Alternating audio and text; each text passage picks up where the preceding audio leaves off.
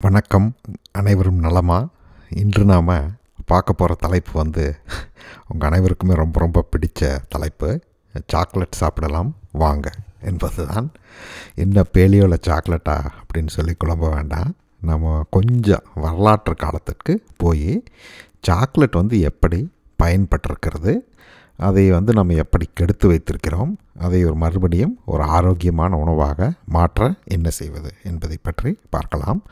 Chocolate வந்து தென் America குறிப்பாக வந்து இந்த மத்திய தென் அமெரிக்கா இந்த பகுதிகளில் உள்ள பூர்வகுடி மக்களால் கண்டுபிடிக்கப்பட்ட உணவு. அங்கே விளைந்த கொக்கோ பீன்ஸ் அதுதான் வந்து அவங்க சாப்பிட்டுட்டு இருந்தாங்க. அதிலிருந்து பானமெல்லாம் வந்து தயாரித்து குடிப்பாங்க. அவங்க வந்து சாக்லேட் வந்து ஒரு கடவுள் கடவுளுக்கு படைக்கப்படும் ஒரு உணவாக வந்து பார்த்தார்கள். இப்போ நீங்கள் பார்க்குறது வந்து மாயன் மக்கள். மாயன் மக்கள் வந்து மெக்சிகோ பகுதியில் வாழ்ந்த மக்கள். அவங்க க அந்த அவங்களோட தெய்வம் வந்து அவங்க கையில் வச்சுருக்கிற அந்த ரெண்டு ஒயிட் கலரில் ரெண்டு தேங்காய் மாதிரி இருக்குது பாருங்கள் அதுதான் வந்து சாக்லேட் பீன் அதை வந்து கொக்கோ பீன் அப்படின்னு சொல்லி சொல்லுவாங்க.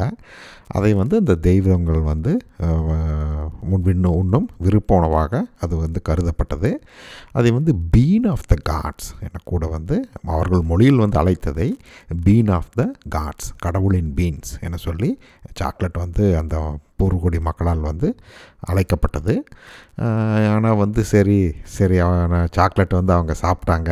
இப்போ நீங்கள் சாக்லேட் தானே சாப்பிட சொல்கிறீங்க நான் பூந்து விளையாடிடலாம் அப்படின்னு சொல்லிட்டு நீங்கள் கடையில் இருக்கிற சாக்லேட்லாம் வாங்கி சாப்பிட ஆரம்பிச்சிடாதீங்க.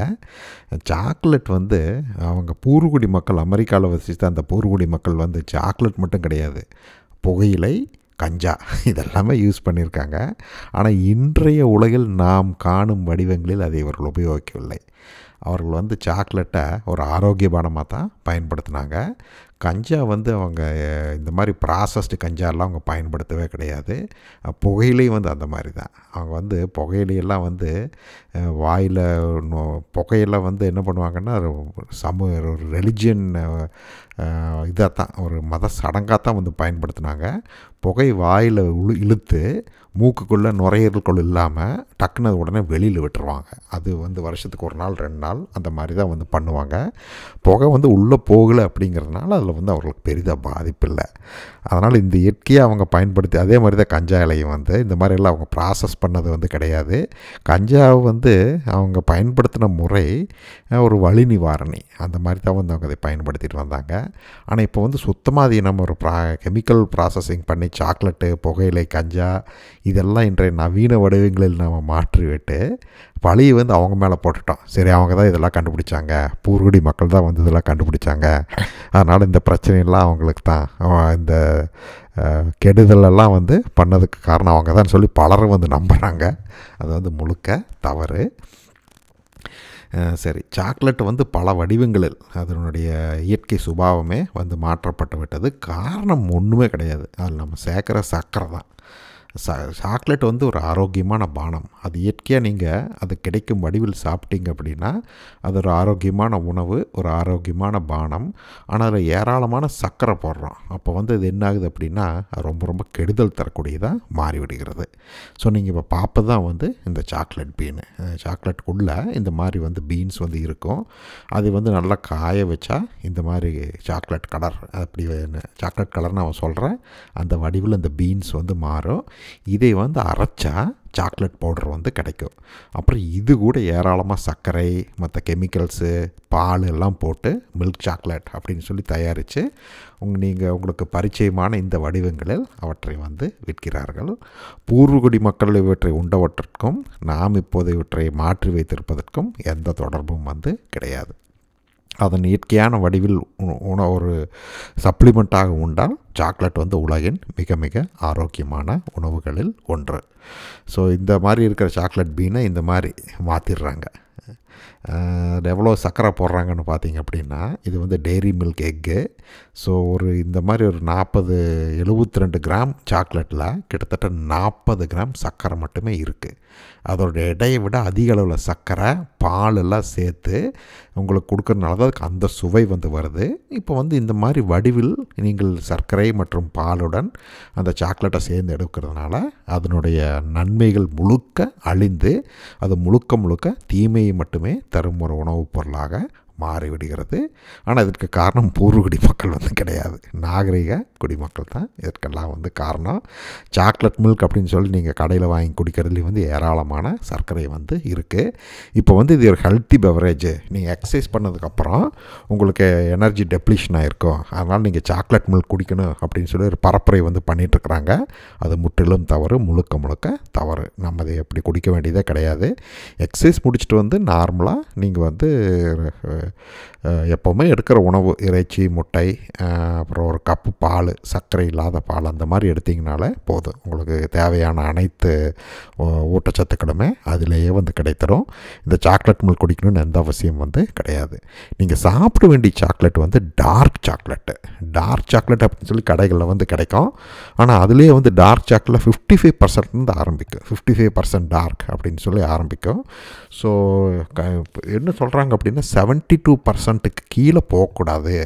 டார்க் சாக்லேட் வந்து செவன்ட்டி டூ பர்சன்ட்டுக்கு கீழே போச்சுன்னா அது வந்து டார்க் சாக்லேட்டே கிடையாது. அதில் ஏராளமாக சுகர் தான் இருக்குன்னு சொல்லி சொல்கிறாங்க நான் ஹண்ட்ரட் பர்சன்ட் டார்க் சாக்லேட் கூட சாப்பிட்ருக்கேன் அது வந்து ரொம்ப ரொம்ப கசப்பாக இருக்கும் அது வந்து ஒரு உணவு மூலப்பொருளாக தான் அது வந்து பயன்படுத்துவாங்க.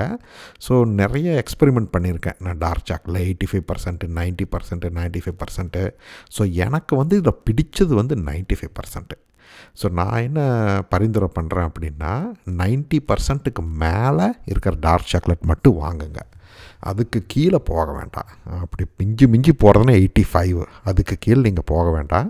அதையும் வந்து நீங்கள் நிறையா சாப்பிட்ணும் அப்படிங்கிறது வந்து கிடையாது. 95% ஃபைவ் பர்சன்ட் டார்க் சாக்லேட்டு வந்து பிளாக் காஃபி குடிக்கிற மாதிரி தான். அதில் எனக்கு ஒரு இயற்கையான சுவை வந்து தெரியனால ஒரு முழு சாக்லேட் பாரை சாப்பிட முடியும் 95% ஃபைவ் பர்சன்ட்டு ஆனால் நீங்கள் அவ்வளோ சாப்பிட வேண்டியது கிடையாது. ஒரு நாளைக்கு ஒரு சின்ன cube ninety five percent dark chocolate அல்லது நீங்கள் இந்த ஹண்ட்ரட் பர்சன்ட் கொக்கோ பவுடர் அப்படின்னு சொல்லி கடைகளில் கிடைக்கும். அதை வாங்கி பால் பாலில் கலந்து நீங்கள் வந்து இந்த மாதிரி இந்த பூஸ்ட்டு போன்விட்டா இது மாதிரி குடிக்கிறதுக்கு பதில் வெறும் hundred percent raw cocoa powder அதை வாங்கி பாலில் கலந்து ஒரு அரை ஸ்பூன் சர்க்கரையும் கூட போட்டு குடிச்சிக்கலாம். அதுக்கு மேலே கூட அதுக்கு மேலே வேண்டாம். அப்படி பண்ணிங்கனாலே இந்த கொக்கோவோட அனைத்து நன்மைகளுமே உங்களுக்கு வந்து கிடைத்துவிடும். ஸோ எயிட்டி ஃபைவ் பர்சன்ட் கீழே போக வேண்டாம். எயிட்டி ஃபைவ்க்கு மேலே உங்களால் எவ்வளோ முடியுதோ எனக்கு வந்து 95 ஃபைவ் ரொம்ப ரொம்ப பிடிக்கும். ஒரு கிட்டத்தட்ட ஒரு ஒரு மாதத்துக்கு வந்து ஒரு ஏழு எட்டு பார் வாங்கி வச்சுருக்கேன். ஸோ அதில் வந்து நான் ஒரு நாளைக்கு ஒரு கியூப் ரெண்டு கியூப் அப்படிங்கிற மாதிரி நான் சாப்பிட்டுட்டு வந்துட்ருக்கேன் சரி இந்த டார்க் சாக்லேட்டு சாப்பிடுவதன் நன்மைகள் என்ன அப்படின்னு சொல்லி பார்த்தீங்க அப்படின்னா இது முக்கியமாக இது வந்து இந்த டோஃபமைன் அந்த டோஃபமைன் அப்படிங்கிற ஹார்மோனை வந்து இது வந்து சுரக்க வைக்கும். டோப்பமைன் வந்து மகிழ்ச்சியை அளிக்கும் ஒரு ஹார்மோன் இதில் வந்து இந்த ஃப்ளேவனாய்ட்ஸ் அப்படின்னு சொல்லி ஒரு பொருள் வந்து இருக்குது ஃப்ளேவனாய்ட்ஸ் வந்து நிறைய பிளான்ட்ஸு நிறைய ஃப்ரூட்ஸு இதில் வந்து கிடைக்கும். திராட்சையில் வந்து நிறைய ஃப்ளேவனாய்ட்ஸ் வந்து இருக்குது ஸோ இந்த ஃப்ளேவனாய்ட்ஸ் வந்து உங்கள் இதயத்துக்கு வந்து ரொம்ப ரொம்ப நல்லது. உங்கள் ரத்த அழுத்தம் அப்புறம் சில வகை கேன்சர்களிலிருந்து இது வந்து பா பாதுகாக்கும் என கருதப்படுகிறது. அப்புறம் ஸ்ட்ரோக்ஸ் வர்றதிலிருந்து இது வந்து தடுக்கும் என சொல்லி இது வந்து நம்பப்படுகிறது. இதில் காப்பர் இருக்குது ஸோ ஃப்ரீ ரேடிக்கல்ஸ்லேருந்து வர்ற அந்த ப்ராப்ளத்திலிருந்து இதில் இருக்கிற இந்த காப்பர் சத்து வந்து உங்களை வந்து காப்பாற்றும் அப்புறம் ரிசர்வெட்ரால் அப்படிங்கிறது வந்து இப்போ ரொம்ப பரபரப்பாக பேசப்பட்டு கொண்டு இருக்கிறது இந்த ஃப்ரெஞ்சு மக்கள் வந்து அதிக அளவில் ஒயின் குடிப்பாங்க. ஃப்ரெஞ்சு மக்கள் குடிக்கிற ஒயின் வந்து தூய்மையாக ஃப்ரெஞ்சிலேயே ஃப்ரான்ஸிலே விளைந்த திராட்சை ரொம்ப ரொம்ப பாதுகாப்பான முறையில் செய்யப்படும் அந்த ஒயின் அது. அதுக்காக அதை நீங்கள் குடிங்கன்னு நான் சொல்ல மாட்டேன். அவங்க குடிக்கிறாங்க. அவங்க வந்து அதே மாதிரி அள வைன் அப்படின்னா குடிச்சிட்டு மட்டையார அளவுக்கெல்லாம் அவங்க குடிக்கிறது கிடையாது.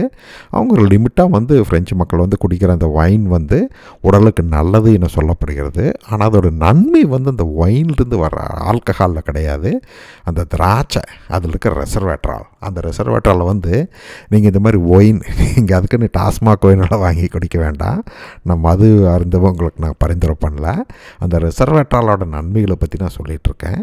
அந்த ரிசர்வேட்டால் வந்து இந்த திராட்சையில் இருக்கிறது டார்க் சாக்லேட் ஏராளமாக இருக்குது ஸோ நீங்கள் ஒரு நாளைக்கு ஒரு சின்ன cube dark chocolate dark chocolate சாப்பிட்டீங்க அப்படின்னா அதில் கிடைக்கிற இந்த ரிசர்வேட்டரால் வந்து பல கேன்சர்களை வந்து அது தடுக்கும் என சொல்லி கூறப்படுவதுடன் பல இதய வியாதிகளையும் அது வந்து தடுக்கும் என சொல்லி கூறப்படுகின்றன. அதே போல் அதில் இருக்கிற ஃப்ளேவனால்ஸு பாலிஃபெனால்ஸு இது வந்து பல வகை இயற்கையான மூலிகைகளில் வந்து இது வந்து கிடைக்கக்கூடியது. ஸோ இது வந்து இந்த குட் கொலஸ்ட்ரால் என்ன சொல்லப்படும் இந்த ஹெச்டிஎல் அதை வந்து இது அதிகரிக்குது. அப்புறம் ஃப்ளேவனாலில் வந்து முக்கியமாக இந்த nitric oxide so nitric oxide பற்றி நான் தனியாகவே ஒரு பதிவு போடலான்னு நினச்சிட்ருக்கேன். இந்த நைட்ரிக் ஆக்சைடு வந்து பிளட் வெசலை வந்து டைலேட் பண்ணுது பெருசாக்குது. ஸோ இதனால் பிளட் ஃப்ளோ வந்து நல்லா சர்க்குலேட் ஆகுது. ஸோ அதனால் ப்ளட் ப்ரெஷர் வந்து நல்லா குறையுது. மூளைக்கு வந்து இதனால் நிறைய பிரெயின் போய் சேர்றதுனால நம்ம நிறைய இந்த மூளை சம்மந்தப்பட்ட நிறைய பிரச்சனைகள் வந்து இதில் வந்து தீருது. இந்த டோஃபமைன் சுரப்புக்கு வந்து இதுதான் வந்து ஒரு முக்கியமான காரணம் என சொல்கிறார்கள். அதே மாதிரி ஃப்ளேவனால்ஸ் வந்து கண் பார்வை நல்லபடியாக இருப்பதற்கும் இந்த ஆன்டி இன்ஃப்ளமேட்டரி எஃபெக்ட்ஸ் வந்து அதில் நிறையா இருக்குது எனவும் வந்து கூறப்படுகிறது. இது பற்றி நிறைய ஆய்வுகள் வந்து நடந்திருக்கின்றன. டார்க் சாக்லேட்டின் நன்மைகளை பற்றி ஏராளமான ஆய்வுகள் வந்து நடந்திருக்கின்றன.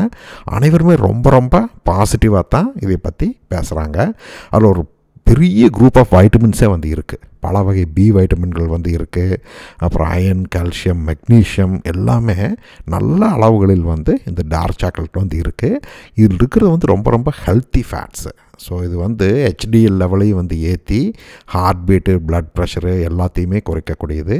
அப்புறம் முக்கியமாக இந்த செரட்டோனின் அப்படிங்கிற அந்த நியூரோ டிரான்ஸ்மிட்டர் அதை வந்து இது உற்பத்தி வந்து இது கூடுதலாக்குது.